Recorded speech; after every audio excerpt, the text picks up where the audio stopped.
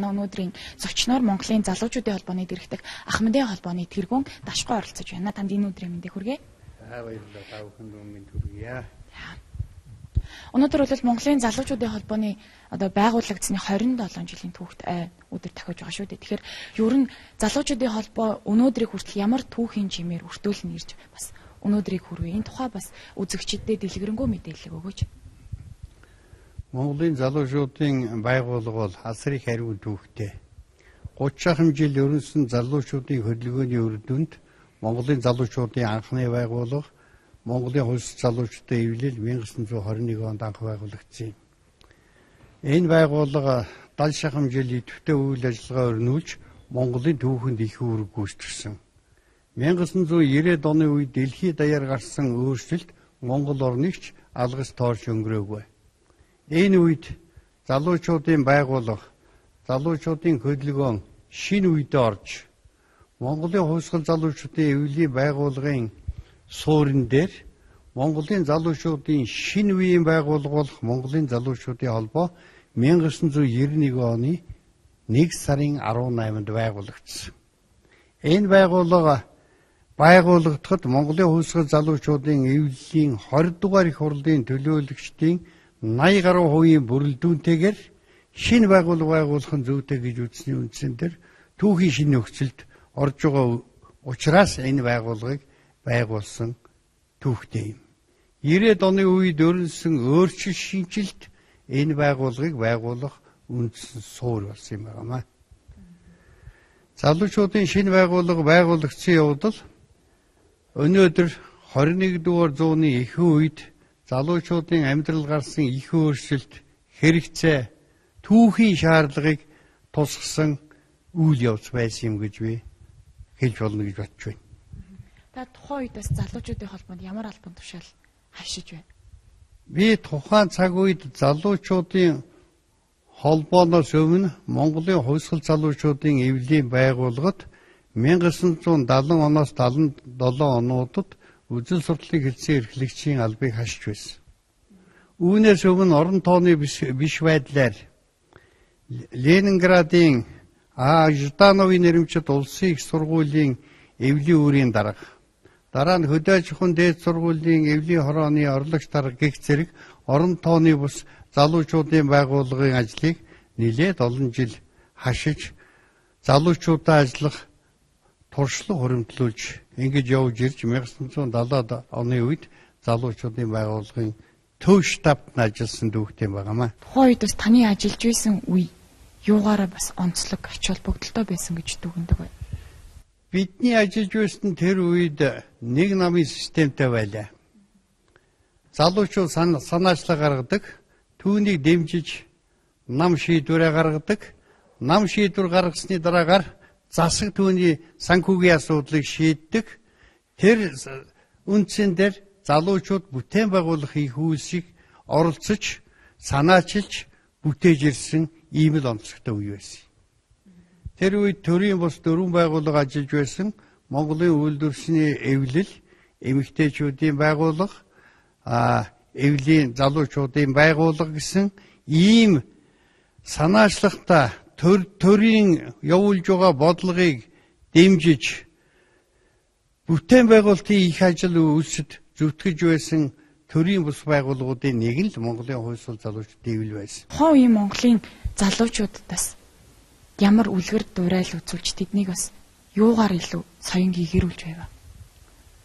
Тухайн цаг үед эх орно гэсэн сэтгэл боловсрол эзэмшиж байж эх орныхаа төлөө их зүйлийг хийж чадах юм гэсэн залуучуудын сэтгэлгээ асар хүчтэй байсан. Гадаадд, дотоодд боловсрол эзэмшсэн залуучууд эх орныхаа хаан шаардлагатай байна тэр газар очиж ажилдаг их өрнүн сэтгэлгээтэй улс орныхаа хөгжлийг бүтнээр нь харсан тийм хүмүүжлийг залуучуудад тухайн үеийн төр засаг нам залуучуудын байгууллага олгож чадсан ийм онцлогтой үе байсан гэж боддог. Одоогийн Монголын залуучуудын холбооны үйл ажиллагааг Ахмадын холбооны зүгээс дүгнээд хэлэхэд танд ямар санагддаг вэ?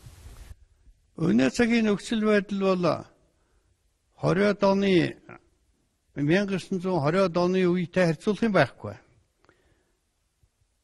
20 дугаар зууны үедээ ч харьцуулах юм байхгүй сүүлийн ийм л онцлогтой юм. Олон намын системтэй болсон байна Монгол орн дэлхийн жишгээр залуучуудын олон байгууллага бий болсон байна. Тэр залуучуудын олон байгууллага залуучуудын хүсэл, эрмэлзэл, сонирхлыг тусгаж үйл ажиллагаа явуулдаг ийм цаг үед орсон. Өнөөгийн Монголын залуучуудын холбоо бол залуучуудынхаа тухайд тодорхой судалгаатаагаар бодлогоо явуулж чадаж байна гэж би өнөөгийн залуучуудын байгууллагыг үнэлж дүгнж явд юм. Залуучуудын байгууллагын бодол санаа санаач залуу хүн бүрч хүч хурч ажиллахын төлөө жармаж өнөөгийн төлөвлөж байгаа хэрэгжүүлэхээр зорж байгаа ажил бол Монгол орны эрх ашиг, Монголын ард түмний эрх ашиг залуучуудаа өсгөж өндийлгөх тэднэртэй тэднэрийг Монгол орныхон бүтээн байгуулалтын их үйлчлэл татаж оролцуулах гэсэн тийм чин сэтгэл эрмэлзлийг багтаасан л бодлого явуулж байна гэж би ойлгож байна. Таны бодлоор Монголын залуучуудын холбоогүйгээр одоо өнөөгийн Монголын залуучуудын гол хүчин хангах нь юу юм болов? Юу яаж хөгжүүл өнөөгийн Монголын залуучууд дэлхийн түвшинд өрсөлдөх хэмжээнд бас очихоор юм сэтгэлийн байж байгаа бол. Залуучууд улс орныхаа төлөө хүчин чадлаа гаргаж зүтгэхэд юуны өмнө өнөөгийн төр засгийн бодлогод их нааштай өөрчлөлт гарах шаардлагатай байна хэдийгээр залуучууд эрмэлзэж тэмүүлж зүтгэж байгаа ч гэсэн тэдний ажлыг зүй ёсоор нь үнэлэх түүхийн чухал чухал одоо энэ эдийн засгийн бодлогоо зөв явуулж чадсан нөхцөл залуучууд ажиллаж амьдарч улс их орныхаа төлөө ихийг үтээх боломжоор хангагдана. Олон намын систем тогтсон нэг талаас ардчлалын хөгжлийн сайн боловч нөгөө талаас өөр хоорондын зөрчилдөөн тэмцэл Төрийг авч явж байгаа хүмүүсийн алсын хараагүй бодлого нь залуучуудын үйл ажилд тэр бүр сайнэр нөлөөлөхгүй байгааг бид олж харж байгаа. Олж харж байгаа ийм л цаг үед амьдарч байна те. Бүр засгийн зүгээс яаж ажиллавал дээр гэж үзэж байна. Төрийн системд хүүхэд залуучууд гэр бүлийн байгууллага бий болсон. Төрийн төрөөс авч байгаа зарим арга хэмжээ өнөөдөр эхлэлийн төдий байна залуучуудынхаа гадаад дотоодод олсон боловсруулыг улс орныхаа хэрэгцээ шаардлага эдийн засгийн эдийн засаг соёл олон салбарын хөгжүүлэх чиглэлд төрөөс ухаалаг бодлого явуулж энэ залуучуудын ажил хөдөлмөрийг нь чиглүүлж өгөх шаардлага юуны өмнө шаардагдж байна.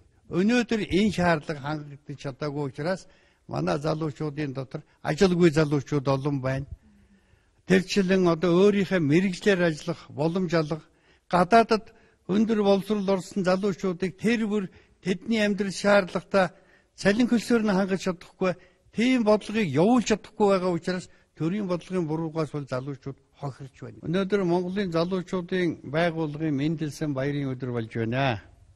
Энэ түүхэн сайхан баярын өдрийг тохиолдуулан Монгол орны өнцөг улам бүрт ажиллаж байгаа залуучууд гадаадад ажил сурч ажиллаж байгаа бүх залуучуудад залуучуудын байгууллагын баярын мэдлэгийг дэвшүүлж тэднийхэн ажил амьдралд хамгийн сайн сайхан бүхнийг хүсэн өрөөж байна. Зочны ярилцлагын цаг маань энд хүрээд өндөрлөж байна.